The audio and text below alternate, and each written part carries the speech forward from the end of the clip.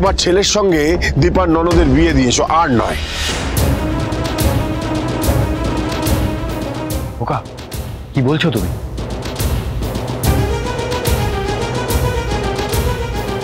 পৃথা দেবী আপনি আপনার ছেলে আর পুত্রবধূকে সামলান। এখানে আপনার হেল্প কেউ চাইছে না।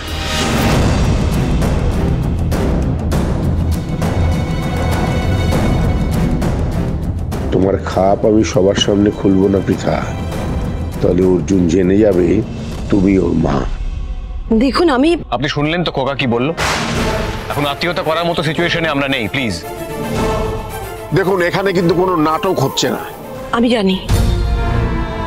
আমি বুঝতে পারছি যে আমার এভাবে একটা বাচ্চা মেয়ে বাঁচা মরার সঙ্গে লড়াই করছে। আপনি তো চাইলেও কিছু করতে পারবেন না। আপনি আসুন প্লিজ দয়া করে আসুন। দীপা আপনাকে একবার থানায় যেতে হবে। প্রতীকবাবু আর প্রবীরবাবুকে ছাড়ানোর জন্যে। হ্যাঁ।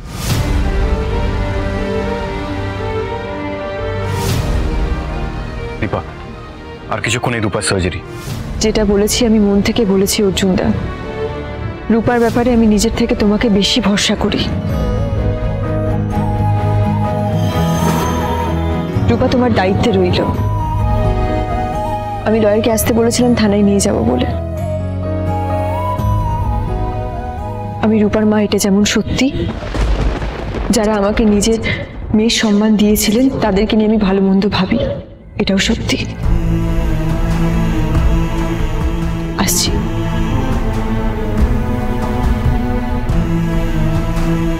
আপনি আসুন।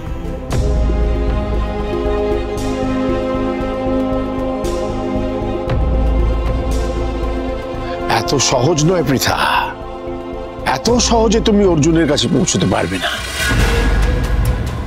আর যে উদ্দেশ্য নিয়ে তুমি তোমার ছেলের সঙ্গে সেনগুপ্ত বাড়ির মেয়ের বিয়ে দিলে, সেটাও তো পূরণ হলো না। এবার কি করবে তুমি?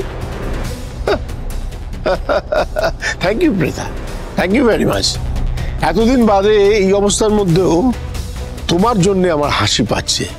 থ্যাংকস ইনডিড হাসি পাচ্ছে না? আসো সমুদা খুব ভালো করে হেসে নাও। এরপর না কেঁদে কুল পাবে না। জাস্ট দেখো কি করি আমি। দীপা রূপা দিদি ভাই কেমন আছে রে? ঠাকুর আছেন বাবা। যার কেউ নেই তার ঠাকুর আছেন। এই প্রমাণ আমি আগেও পেয়েছি এখনও পাচ্ছি। তার মানে ও এখনও সুস্থ হয়ে ওঠেনি? ঈশ্বর। ওর